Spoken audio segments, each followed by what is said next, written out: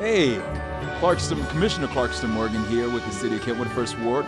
I am excited always to be able to, one, be a part of our wonderful community, to be able to see our families here celebrate this wonderful Christmas. Happy holidays to each and every one of you.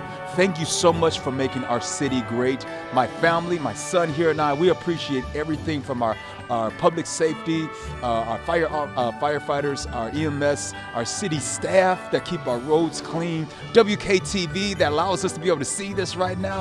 Thank you everyone that makes our city a great city. We appreciate you.